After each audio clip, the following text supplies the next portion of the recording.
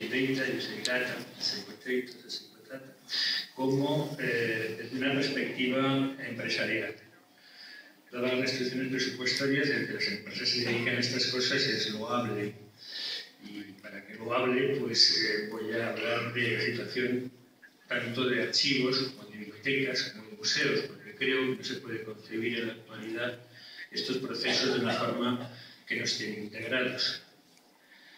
Voy a hablar también de cuál es la visión empresarial que tenemos nosotros, cuáles son nuestras líneas estratégicas.